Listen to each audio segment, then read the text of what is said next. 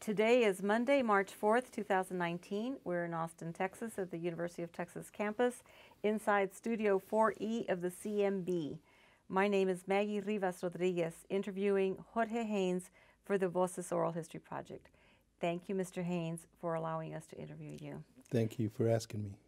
Can you please uh, state your name and tell us how you were involved in the South Texas Border Initiative? Sure. My name is Jorge Haynes. I'm a native of Laredo, Texas. and since 1990, I relocated back to Laredo from Washington, D.C., and I worked for the International Bank of Commerce. And as, as such, I was a senior vice president for marketing. And International Bank of Commerce has always been involved in the community, and particularly when it involves education and higher education. So, what was exactly your role? So, our role was to work with the legislature and uh, the governor and the lieutenant governor to try and uh, make sure that Laredo finally achieved a four-year campus after many, many years of asking for that. Okay, let's back up a little bit here um, and tell me about Laredo and about the, the two-year campus that you had at the time. Sure. So Laredo had a junior college in 1947. It was when it was created thanks to a, a, a group of veterans that lobbied for it.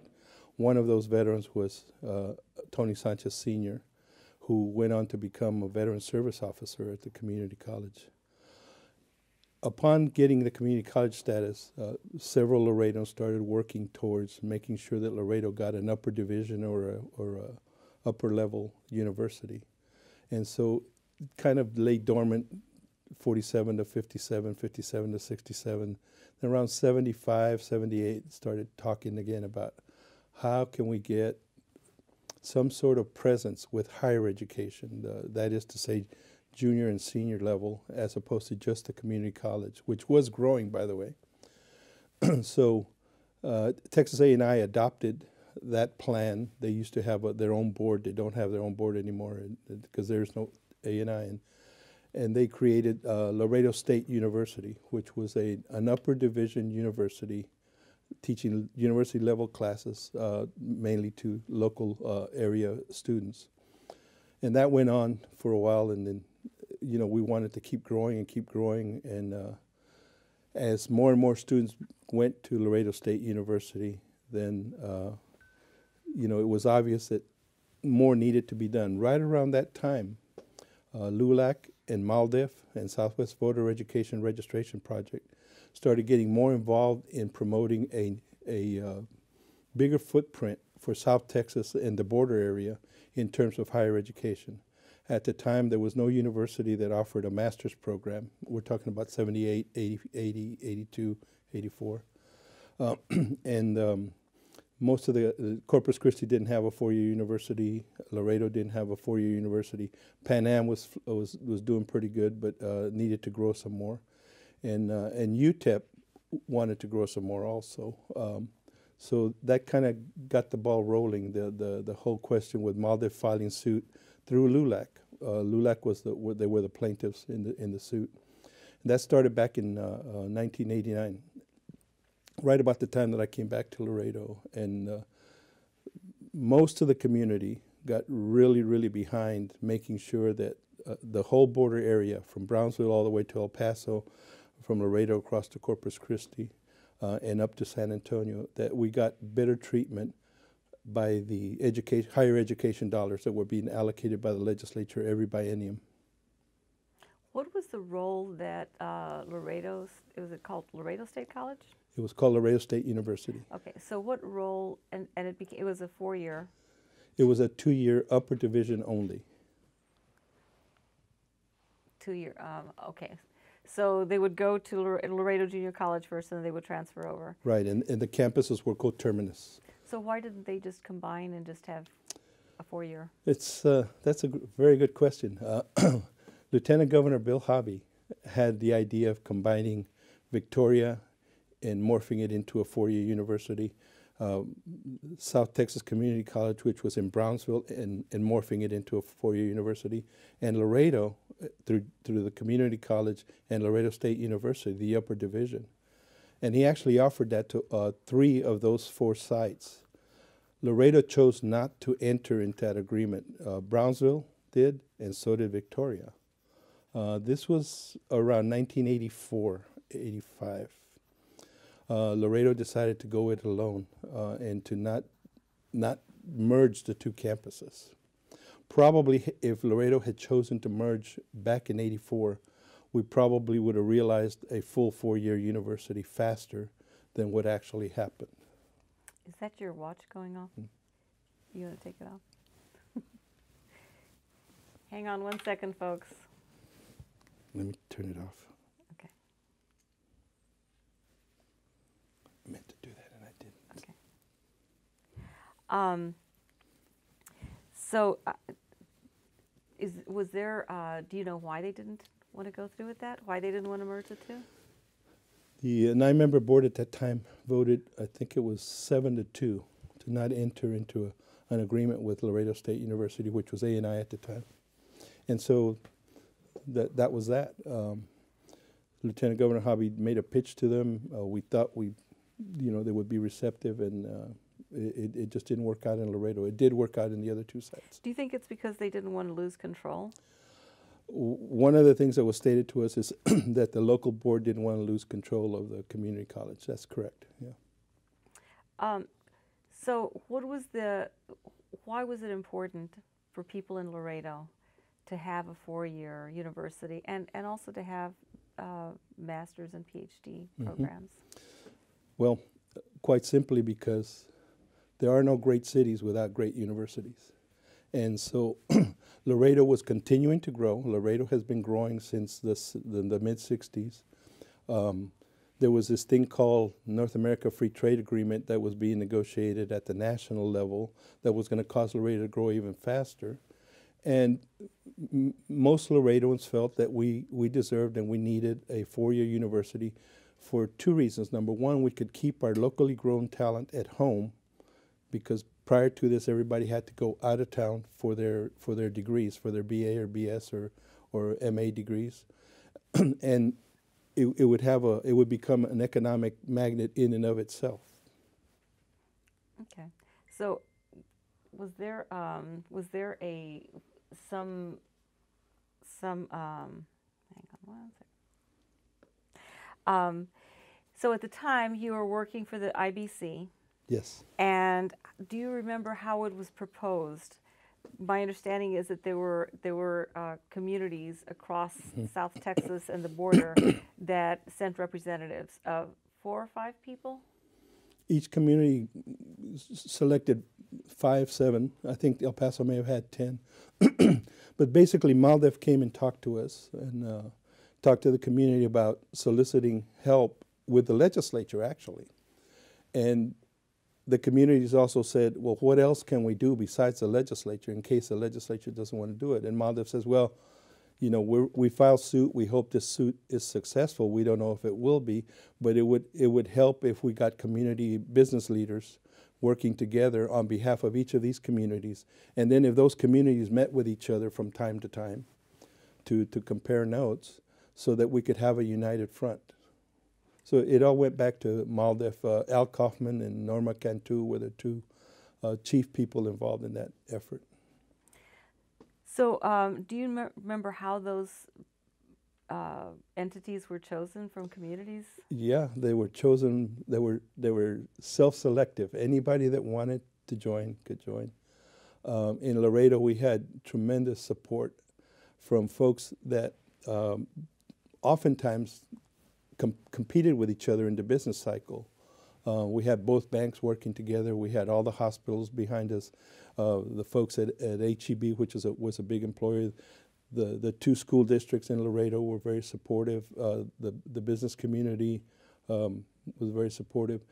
It was pretty much it was near unanimous that that Laredo had support. And and by the way, other communities found the same phenomena.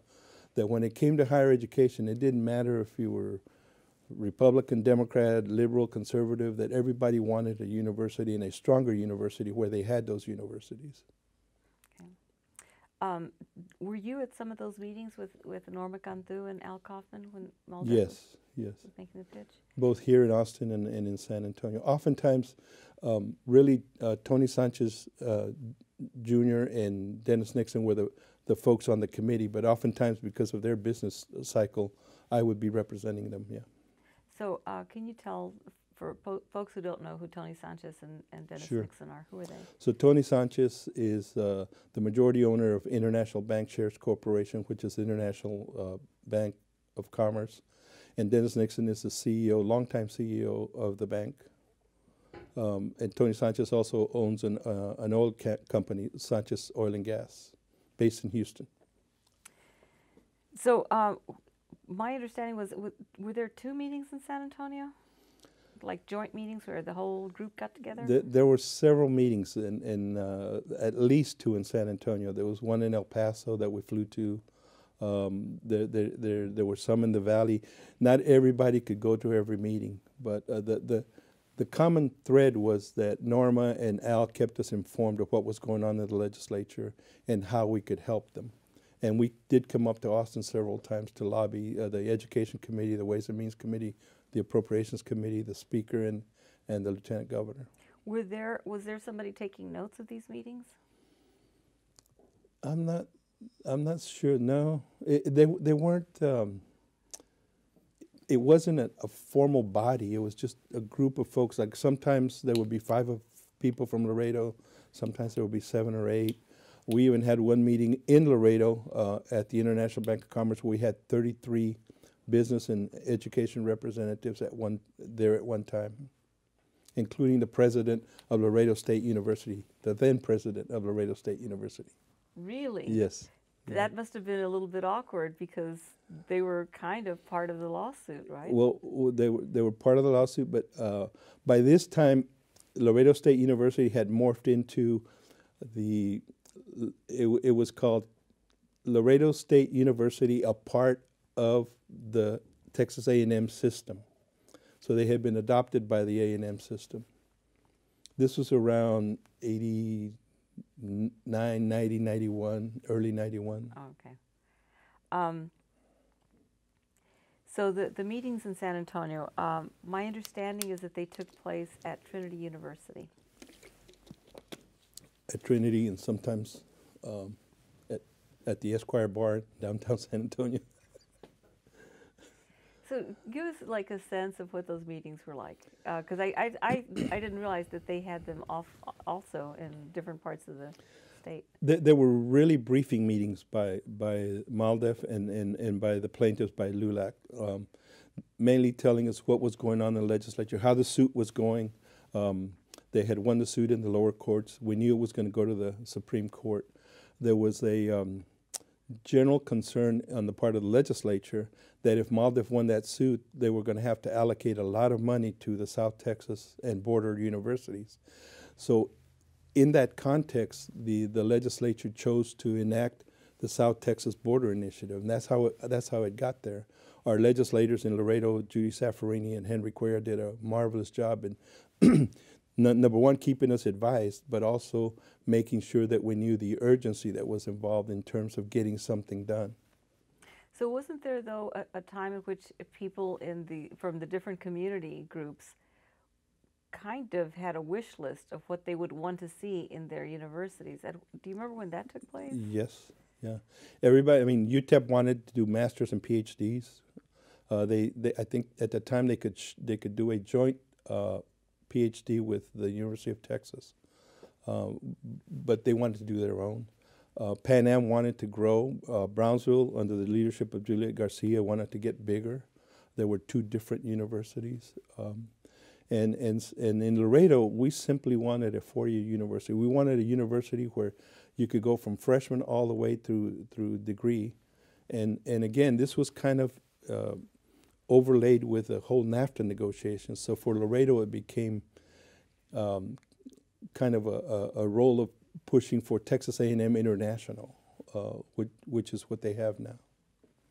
Um, what was the advantage of having a, a, a, a university where you could go all the way through rather than junior college and then the Again, you graduate from high school.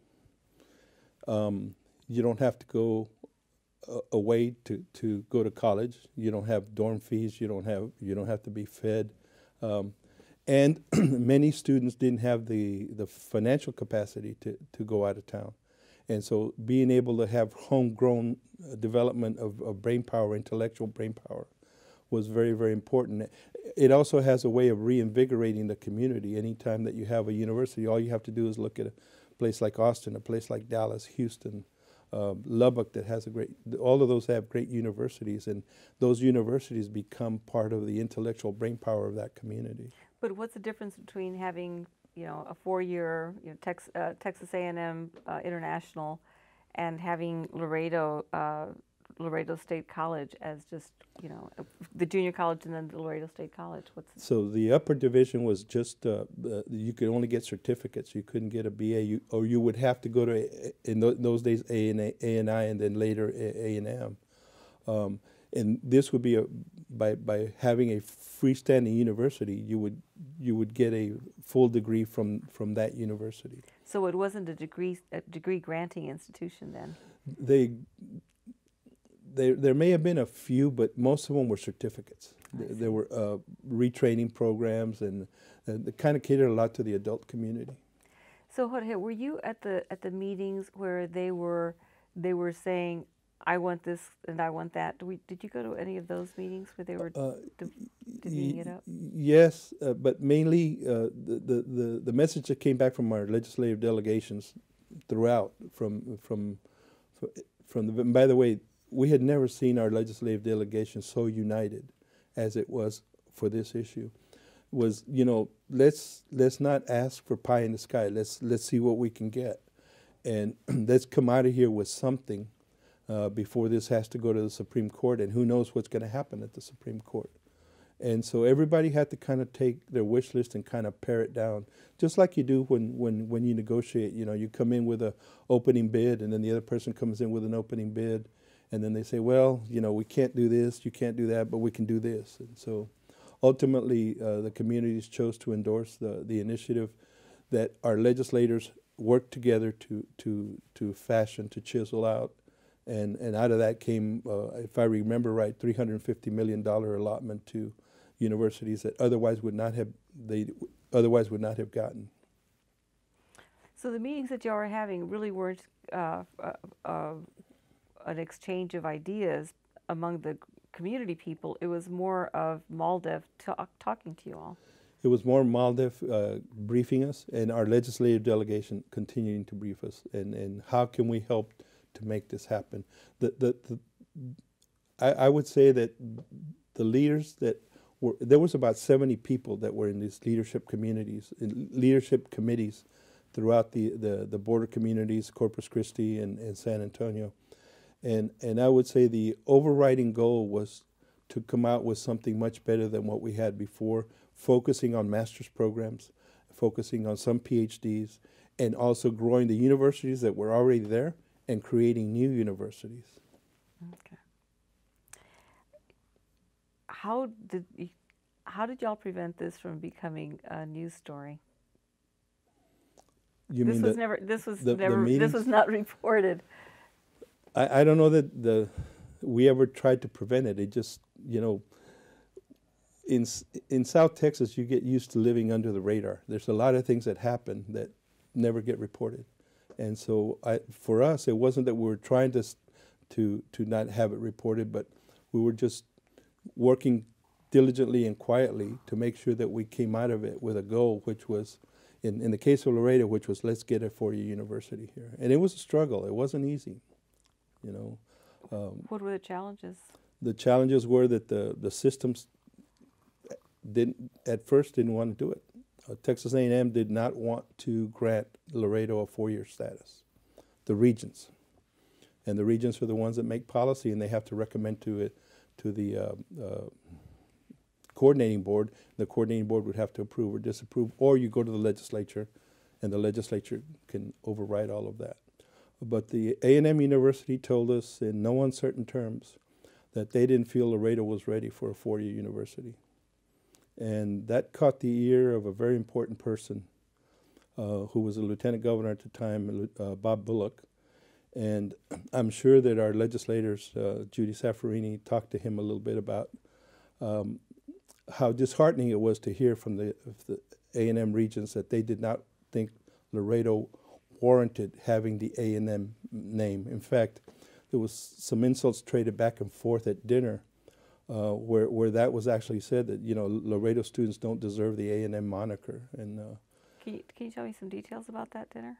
uh, so one of the most the, the most prominent families in Laredo is the, the Killam family. They've always been very pro-education. They have a real nice uh, ranch just north of Laredo, and they hosted the several of the regents to come and see Laredo State University at, A&M. Um, and um, they had a dinner at, at their ranch afterwards. And uh, Mr. Killam and Mrs. Killam, uh, Tony Sanchez and Mrs. Sanchez, and Dennis Nixon and Mrs. Nixon were seated with the regents. And in talking, that you know, the, there was a lot of back and forth about, you know, what do you think? Can you, you think you can adopt this university? And one of the regents says, no. Uh, Laredo students don't merit having the A&M moniker. And that was actually an insult to everyone in that table, and everybody took it as an insult. And it actually energized us even more. But more importantly, it got back to Austin. And when it got back to Austin, the lieutenant governor, who had spent a lot of time in South Texas when he was a young lawyer uh, down in the valley and cut his teeth in South Texas, said, Oh, no, no, that can't be happening. Laredo deserves a university. And so when, when Lieutenant Governor Bullock got involved, that changed everything in terms of the trajectory for TAMIU, the four-year university, as opposed to Laredo State University at A&M. What do you think that, uh, was it a regent who said this? It was a regent, yes. What do you think uh, he said, he meant when he said that they don't merit? It, was a region, and it was and it was reported widely in the newspaper. So it wasn't it wasn't uh, Laredo did not go quietly. and, and, and, and, it was reported in the Austin American Statesman, the San Antonio papers, of course, the Laredo papers. The press was there. Um, it's hard to say what he what was his thinking was back then, but other other than, you know, maybe he sincerely felt that uh, Laredo wasn't ready for a four-year university. We felt totally the opposite. Uh, and by this time, there had already been a South Texas border initiative. So it was a question of who was going to get university status and who wasn't. Corpus Christi went through the same thing, although they didn't go through uh, some of the negative scenarios that I just described. Uh, but we depended upon, um, unexpectedly depended upon Bob Bullock to, to carry the ball and, and Judy Zaffirini in the Senate. And it was interesting when they, um, when they came up with naming Texas A&M International and when they came up with um, and by the way, there was a lot of uh, A&M didn't want to call it international. They wanted to call it Texas A&M at Laredo. And Senator, Senator Zaffirini, I'll never forget said, We're not going to be Tamal. It would have been Tamal, and we did not want to be Tamal. And uh, there was a very interesting incident at a, at a, at a hunting camp, um, and I was present, where uh, where uh, Lieutenant Governor Bullock was was hunting with with my brother, and, and he said, "JJ, what what do you all want? What does Laredo want to call it?" And JJ says, "Pretty much, the the, the the leadership group would like to call it Texas A&M International."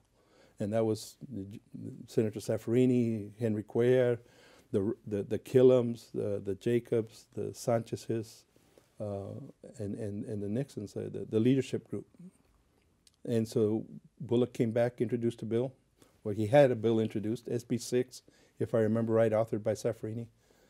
It was reported out of Finance Committee 13 0, and it was reported out of the Senate 30 0 to 1. And so Texas A&M International was off and running over some of the objections of the regents, and they had to accept the ultimate. Uh, it, it, then it went to the House where Henry Cuellar was a co-sponsor, and, and it passed the House. And so that's how Texas A&M International became a four-year university in 1990. I think it was 94, and it started in 95. Okay. And it completely changed the face of Laredo. We were also told by those regents that Laredo would never have more than 3,000 students. today Laredo, uh, Texas A&M International University has 8,600 students. So, and it's been an incredible uh, economic engine for Laredo and for Laredoans, and it's made it a lot easier for Laredoans to go and get BA degrees. So before we started the interview, you had mentioned to me that uh, that the the two the two major banks in Laredo had kind of joined forces on this issue. Can you talk because they were pretty big rivals? Can you talk about that a little bit? We were uh, Laredo National Bank and International Bank of Commerce were big rivals going back to the 70s.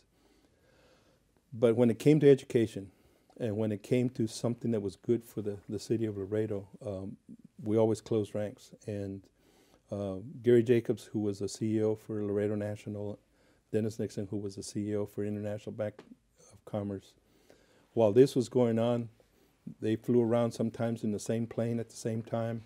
Uh, Tony Sanchez would join them. Uh, Mrs. Killam would join them. They also have airplanes that they flew around in. Um, a very prominent uh, Laredoan that owns the Popeyes franchises and Church's franchise, franchises, Peggy Newman, also joined them. Uh, when it came to education, Laredo was full square behind a four-year university across social strata, across uh, political lines. Um, did you know any of the other participants at the at these meetings? The ones coming in from Corpus Christi and Kingsville and some of the folks from the valley, uh, and I'm trying to remember uh, in in El Paso, I, I knew a few also. Um, each community had its own distinct group, you know, and, and they would work their legislative delegation, and our delegations would go and work the larger. Uh, they, they of course worked the speaker, and they didn't have to work the lieutenant governor. He was worked. He he was he was on board, you know. Uh, Why do you think? So do you think that he got upset about it because he felt a personal connection to South Texas because he used to hunt there when he was a kid? Bob Bullock, uh, who, fair disclosure, became a close personal friend of my family's. Um, from the time he he served in the Morris Atlas uh, law firm in South Texas in McAllen, he developed an affinity for South Texas. It's something that never left him. When he became comptroller, he was Secretary of State under Preston Smith. Then he became comptroller. When he became comptroller, before anyone uttered the word affirmative action, Bob Bullock had his own version of affirmative action. He always included women, always included African Americans, and always included Latinos, uh, Mexican Americans, in terms of his district managers, in terms of his uh, of his um, uh, executive staff. Uh, I was proud to have served in his executive staff for almost three years, also here in Austin, as associate deputy for legislative affairs. Uh, but he always felt that his agency needed to reflect Texas. I remember one time he got an irate letter from a taxpayer that was upset with him because he was writing to the uh, Port Arthur uh, Vietnamese fishermen in their own language why they needed to pay their taxes. And someone wrote and said, "This is America. You shouldn't be writing uh, state state documents should not be transmitted in Vietnamese." Mr. Bullock had a very quick answer on the way uh, coming back to that gentleman. He says, I want the taxpayer to understand their rights, and I don't care what language I have to speak. I want to make sure they understand in their language what it is they have to do to make sure that they comply with the law. And that's the way he felt. It was just it was something he had inside of him. Um, you mentioned a second ago that different that different communities had different groups. Like was one the Laredo one very business business oriented? and the one in Corpus Christi different? Can you characterize the they, they, they, all had strong business components, and, and, they all had the, the common trait to, to those leadership groups is uh, bipartisan support to promote higher education in their community. And if you go to Corpus Christi today, they have a beautiful, we call it the Island University. They have a beautiful university. Um, as a result of all of this, even though it took a few years, uh, and it took a very creative chancellor. As a result of all this, uh, Pan Am and Brownsville have merged, and now we have the University of Texas Rio Grande Valley, which is going to be a stellar institution as it is already, uh, because for the first time, Texas invested in a tier one university in South Texas. Let me ask you this. Do you see any problems in how the South Texas Border Initiative was was finally affected? Every community wanted a little bit more. That, that's I think that's normal. But everybody, every community ended up getting more than they would have gotten had we not had this unity of effort. Um, there's no doubt in my mind that um, we heard legislators say, "Oh, El Paso will go after Laredo, Laredo will go after the Valley, the Valley will go after San Antonio. We'll have these guys fighting. They'll never agree on all this stuff." Never happened. We always we we stayed like good soldiers within our ranks, and we pushed for our communities, and we never said anything negative about the other communities. That impressed our legislative delegation, and our legislative delegation for the whole area was able to go to the larger legislature and say, look, I got business people, I got Republicans, I got Democrats, I got rich people, I got poor people. Uh, we, we've got to go with this. And so today you see the result. I mean, the initial um, allocation was 350 million. But I think if you go back and look at how much has been allocated in addition every year thereafter, it's in the billions of dollars. That that creates economic uh, uh, opportunity, and that also creates the continual uh, retention of brain power in the community. That's not to say that people aren't going to go to the University of Texas, to Texas A&M, to Tech, to UCLA, and, and to Harvard and Princeton. Of course they are. That, that option's always going to be there. But for the first time, these communities like Corpus Christi and Laredo are able to train their own brain power there and retain their own brain power. While y'all were meeting, did you all believe that, that this could actually work? Did you all have that belief, or were there some people that were kind of cynical and said, "Oh, there's no way this is going to happen"? It's not that we were cynical, but I think the the business community had been let down so many times, and the, the civic and, and, and NGO community had been let down so many times that that there was uh, a sense of incredulity, incredibility that this could happen, with the exception that if we stood together, we might have a much better chance. But sure, there were folks that say, you know, these guys are never, the, the legislature's never going to approve this, the governor's never going to go for it. Um, but by, by sticking together, by, by staying on task, and by making sure that we represent our communities and not anybody else's communities, and, and work with uh, MALDEF and LULAC uh, in, in uh, Southwest, we were able to, it, it was able to happen. Uh, the irony is that when the suit was reviewed by the Supreme Court, MALDEF did not prevail in that suit. So the concern and the fear of the legislature that we better give them something that is less than what the Supreme Court's going to give them. Uh, the irony is that the, the, the Supreme Court found that, that uh, I don't remember the exact justification because it's been years ago, but it was uh, 91, 92. Um, the, the, Supreme Court found not in favor of MALDEF. But the job was done. And it is now on the, on the irreversible track. You can't slow down UTEP.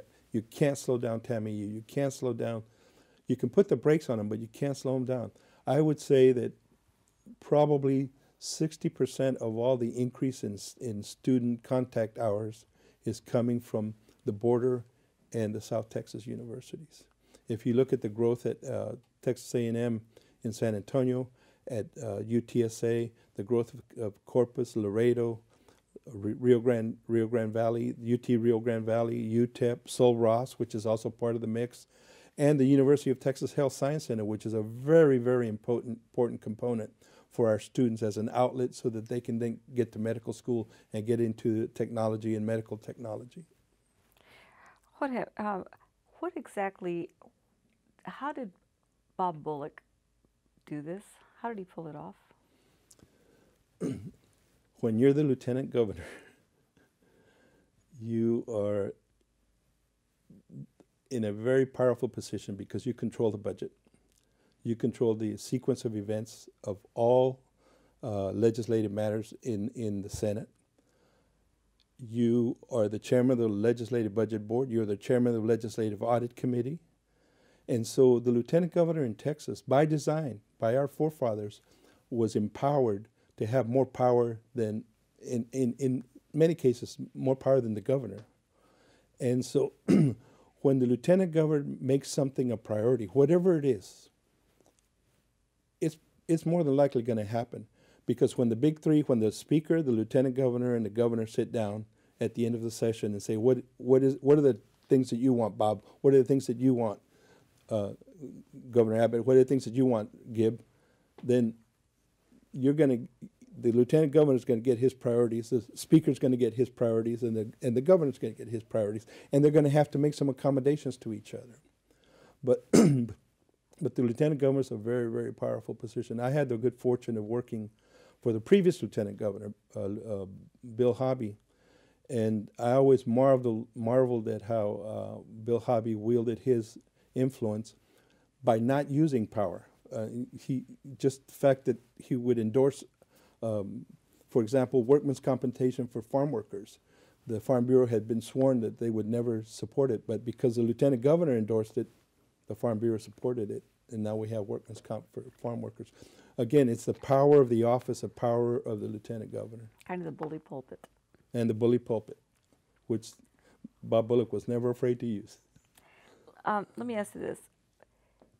What role do you think race played in what was happening in higher education on the border and in South Texas?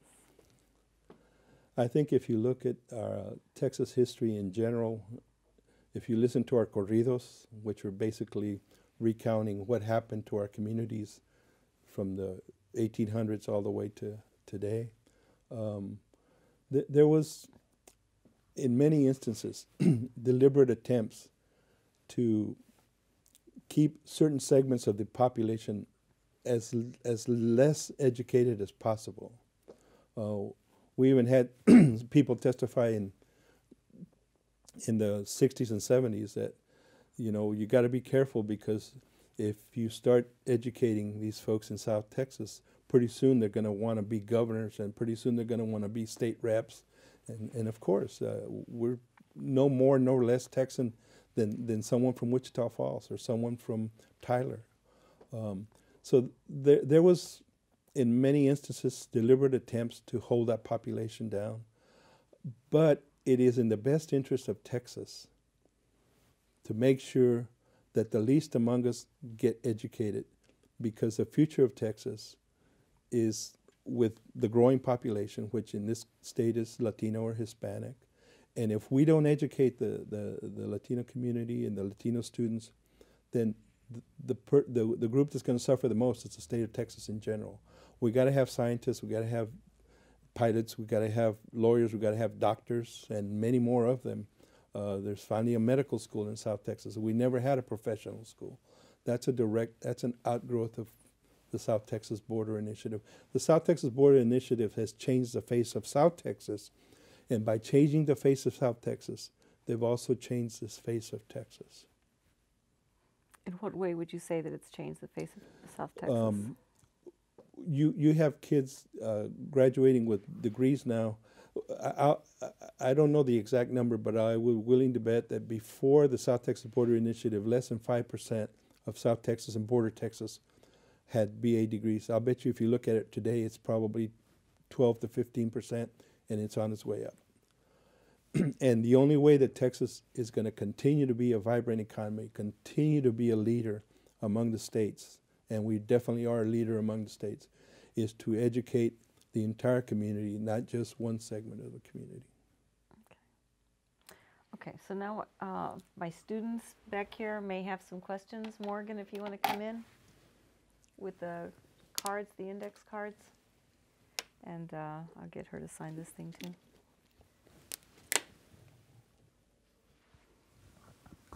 And I'll step, I'll step, step into the other room too.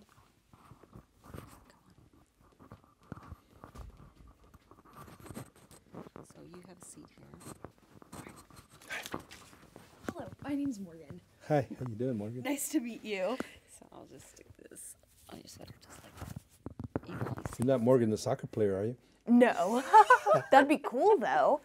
Okay. My, my daughter's a soccer player, so we follow the women's soccer. Excuse me, I'm sorry. Okay. Oh, should I just ask the? Yeah, just ask okay. If you think of anything. Uh,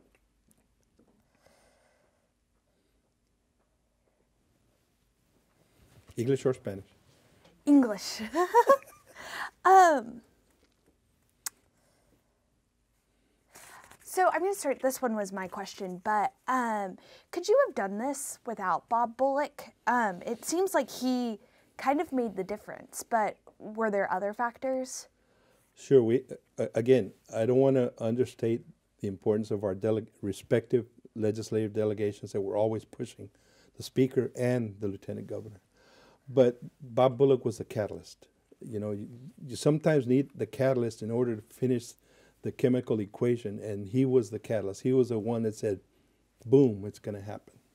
Okay, awesome. And then, um, what do you think the Texas A&M regents meant when they said Texas A&M International would not receive more than 3,000 students?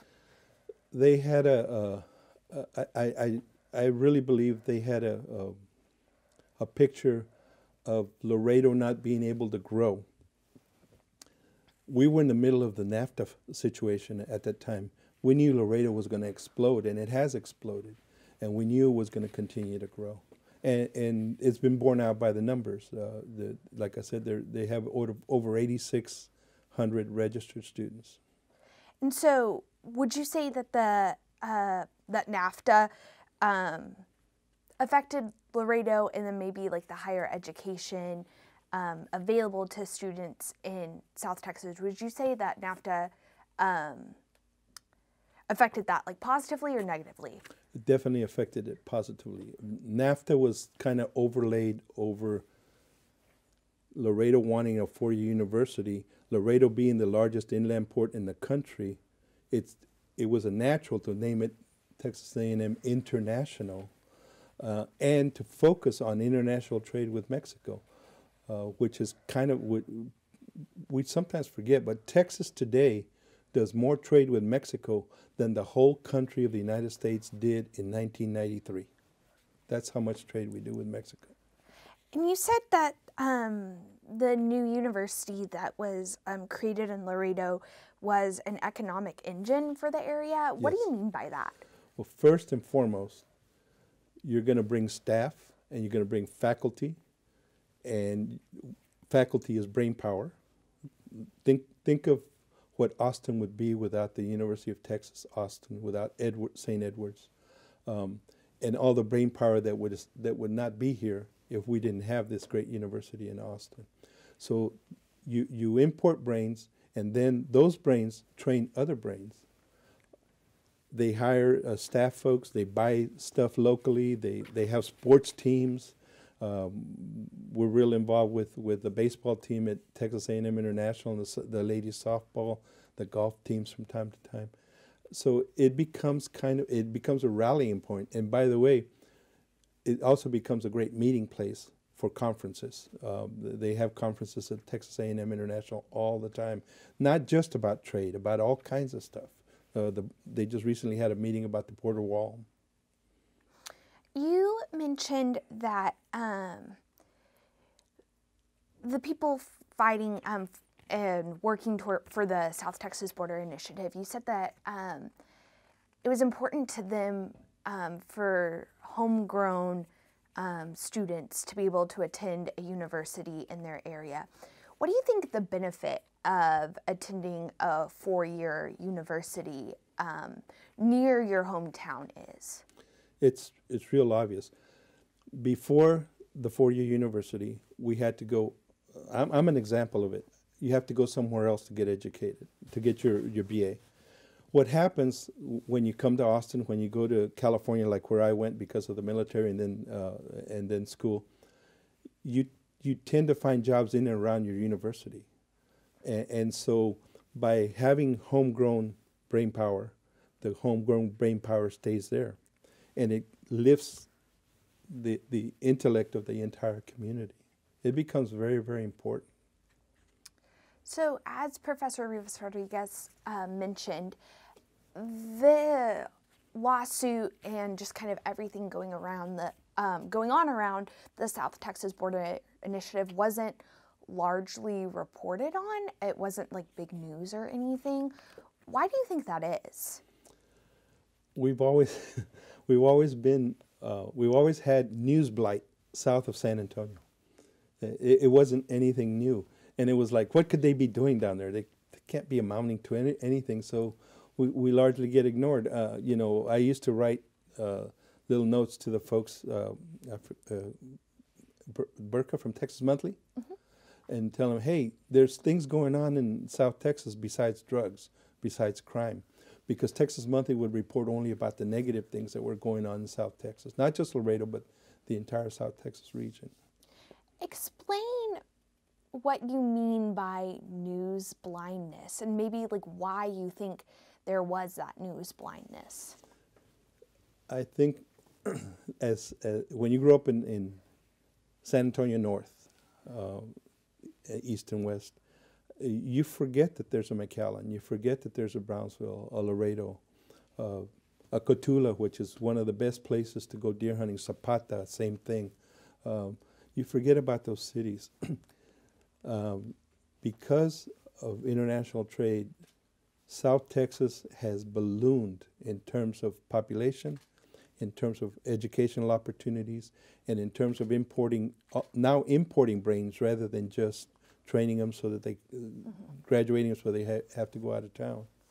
And, and it continues to have, when, when before NAFTA and before the, these big universities, the, the typical unemployment rate, like, let's take Laredo for example, was 14 to 15 percent. Today, the unemployment rate of Laredo is 3.5 percent, and it has been for many years, between four and three and a half percent for many years. And would you say I'm to ask two questions. Um, would you say that the news blindness that you mentioned has that been remedied, or is that still something you're working on? Uh, I, I think there's still a struggle to point to the positive things that are going on in El Paso, in, in Del Rio, in Laredo, in McAllen, in, in Harlingen, uh, in, in Brownsville, Corpus Christi. Corpus Christi is a beautiful, beautiful city. Uh, and there's a lot of things going on there, not just with the university, but in terms of uh, offshore drilling, for example. They built some of the best platforms there in Corpus Christi. How many people actually know that? You know. And then you also mentioned um, one example of, um, you know, the concrete effects that the South Texas Border Initiative had was um, the dramatic difference in the unemployment rate. Could you give me some more examples of um, ways that the South Texas Border Initiative really made the difference um, along the border? Sure. So, with the lower unemployment, with the universities, with the bringing of uh, and retaining brain power, you now have for the first time in South Texas and throughout the uh, Rio Grande River a much more interest in the environment and in the cleaning up of the river and in preserving the river. Um, the, the Rio Grande River is one of the five dirtiest rivers in the United States. Nobody much cared about it, but now because we have the luxury of, of uh, it, it, students that are studying the water and, and testing the water four or five times a year, there's a program in Laredo that takes kids all the way to the headwaters of, of the Rio Grande and, all, and to, to the Delta. And they tested like in 200 different points every year, twice a year. That, that never was done before. The, those are all luxury items that when you have a higher ed institution, when you have lower unemployment, you can start thinking about, okay, now we don't have that high unemployment. What else can we do? What else can we do to help our community? Um, I'm going to go back a little bit um, to when the lawsuit was still, um, you, you all were still working through the lawsuit. Um, could you tell me a little bit more about the relationship that those of you who are working with MALDEF um, and the universities that you were trying to help but were actually defendants in the case? Could you tell me a little bit more about that relationship and maybe if there was any struggle there? The the struggle was really how do we get Austin to believe us? Uh, that that that was the biggest struggle. Um, privately, a lot of the the campus presidents were very supportive of our effort, participated, oftentimes came and gave us information, uh, not necessarily to endorse the suit, but rather just to tell us what the reality on the ground was, you know, like at Laredo State University um, and, and South uh, UT Brownsville, for example. Uh, and so we relied upon them to give us facts. Then we would take those facts, and so would MALDEF, and then it'd show up in a hearing, you know. Um, it was a, it was a, a very positive relationship because again, everyone wanted the university to grow. Everyone wanted, in the case of Laredo, to have a university. In the case of Pan Am uh, in, in Brownsville, to grow the university. UTEP grow the university. UTSA grow the university. Now you have a U, now you have a Texas A&M uh, in San, San Antonio, which you would not have had before. So, the the th- there's an insatiable appetite on the part of South Texas and border students to get a four-year education. About eight years ago, ten years ago, the Melinda Gates Foundation did a survey, countrywide survey. It had nothing to do with the border. They found that Latino parents, as much as any parent, Anglo, Asian, whatever, wanted their kids to go to college. Most people would not have told you that, absent that that uh, survey that, that was done back about eight or ten years ago. And then you saw the Gates Foundation begin to invest more in in uh, Hispanic areas, Latino areas, not not just in Texas, but in, in California. When I was in California, they, they gave us some big money at the California State University uh, system, but um, just just trying to trying to feed the need of these students. The other thing is academic preparation. We got to make sure that students are prepared to go to the, the university. That's the second part. A lot, a lot of times, like uh, folks would go to the community college, bring up their grades so they could then get into A and M and UT and and uh, UTSA. Well, the the K twelve system ha- is incumbent upon them to make sure that they graduate college ready students. Did you find that students in the border area, um, when they're both before and after, when there are these um, tier like tier one universities along the border, um, did you find that students in the border region were ready for college? No, So why is that? No. And then what do you what do you do about that? So uh, let's use uh, McAllen Harlingen uh, Mission as an example. Uh, they now have a medical school there, and and they formed a foundation, and the foundation is working with University of Texas Rio Grande Valley and the K-12 systems in in the Valley area to make sure that their students can first access a four-year university and then be successful enough that they could go to medical school. Because what good would it do to have a medical school if your students can't go there? Uh, to their credit, the, the, the current president at uh, Rio Grande Valley and his foundation have done a stellar job in making sure that the K 12 system understands the new responsibilities they have to prepare their kids for that incredible university. Did that relationship between the K through 12 system and then the higher education system, did that happen naturally or did you realize or did people realize, "Oh, we actually need to be coordinating with them" or how did that happen? I think it, it, it, it evolved because absent a university like the Rio Grande Valley University and the medical school, so what? But with that that huge university coming online, it's like I got to get my kids from Mission, my kids from McCook, my kids from Harlingen. I got to get them into that university. My kids from Brownsville, you know, I got to make sure they're qualified and they're ready to go to the university because th- that university is going to have entrance requirements. Um, and, and, and then how do, how, how do they pay for it? Because that's the second part in, in, in South Texas. And, and thank God there's something called the, um, God, the, I'm a blank. Uh, Oh, no problem. the the uh, grants, uh, Pell Grants. oh, okay, Yeah. yes. If it weren't for Pell Grants, if it weren't for Pell Grants, a lot of people would not be in college. I am talking about tons of people, all all all stripes. Okay, uh, but the Pell Grants can be very very helpful because most of the schools in the valley, most of the schools in Laredo are Title I schools. Well, guess what? That means your parents aren't earning a whole lot of money. That means you qualify for four, five, or six thousand dollars in, in tuition benefits. And, and the schools are learning how to work closely with the parents because you got to fill out this thing called FAFSA and uh, and and how to access that because in many cases the parents didn't even know that their kids could get three, four, five, six thousand dollars.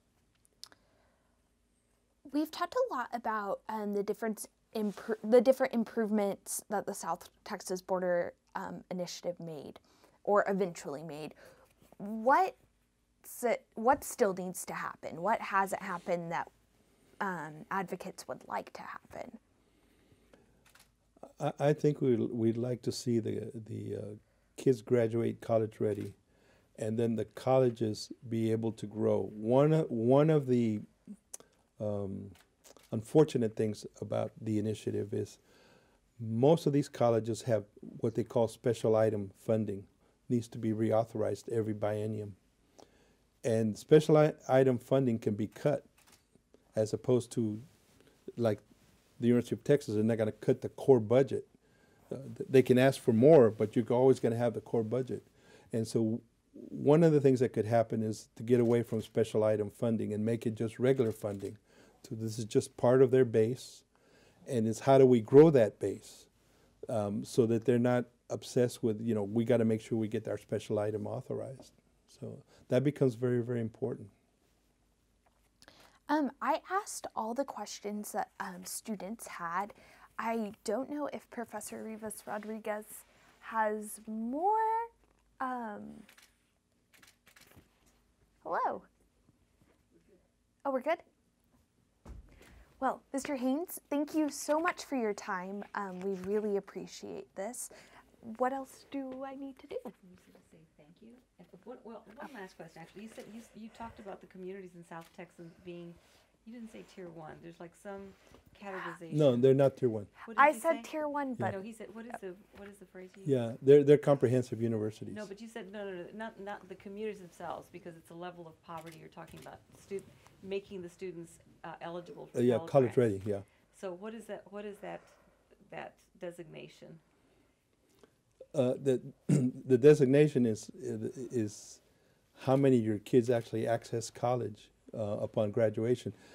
Typically, you have to have algebra in the eighth grade or the ninth grade. You have to have two years of algebra.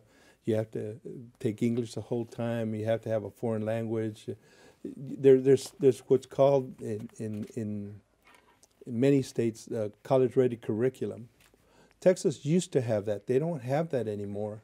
But you still have to be college ready to pass the to, to get a high enough grade on the SAT and to have a high enough GPA that you can get into the, the comprehensive universities.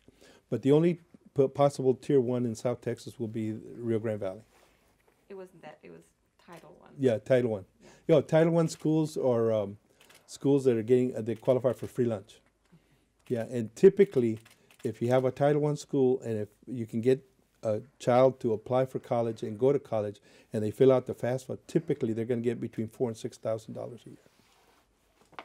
We used to say in California, when cause I worked for the California State University system for many years, 14 years to be sure, um, but we used to be able to meet with parents and tell them if you and your husband earn less than $70,000 a year, which applied to a lot of folks, particularly folks who are involved in the fields or domestic work uh, or working for the hotels, then your your child, you're probably going to be able to send your child to a California State University tuition free because you're going to if you fill out your FAFSA and you're under seventy thousand, you're going to qualify for five. In those days, it was five thousand. Now I think it's two hundred. So, and that education needs to go. For, uh, that that in education needs to be provided by the universities, and they do it but they need more help. And then the NGOs are very important in that. We, we worked with a lot of, uh, for example, in California, we worked with the black churches. They were incredible in disseminating facts and information about how to get your child to college. First of all, what you have to do to prepare them in the sixth grade, seventh grade, eighth grade, ninth grade, all the way over. You know, this is what you got to do. And we had a roadmap, um, which, by the way, has been adapted by Texas A&M International. And, uh, and once they qualify, this is what you have to do to get uh, tuition help And, and in LA, if you, if, if, if you go to Cal State LA, the tuition there is about $5,400. So if you're getting $5,000 in tuition through Pell, your parents only have to come up with $400 and you can live at home. You can live in the Crenshaw district. You know, we, we have to do a better job there. We have to close that loop. And it's been happening. Uh, it, it's probably not happening as fast as I would like to see it happen, but it's happening.